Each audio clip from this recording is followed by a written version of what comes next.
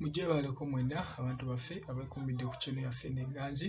emanyikiddwa nga ln 256 amannya mpitibwa sande era ngaolunaku lwaleero amawulire agaliwo mu ggwanga lyaffe uganda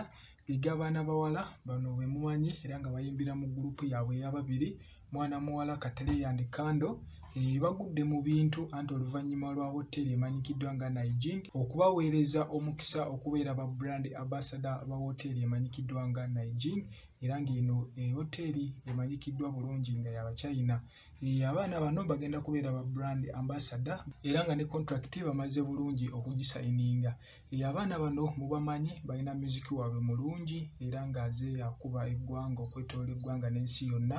era nga abaana balungi kale balina brand era brand yaabwe mugiraba. Teri ku sipiidi ya waggulu ate tetambula mpola so eri constant. E, abaana abo tubasabire bibeere bisima byereere era bakole bulungi basobole n'okubongera contracts endala. E, mwebale nnyo okubeera ku channel yaffe eyitibwa ln 256 era nga tubasaba mugende mu maaso n'okugyegattako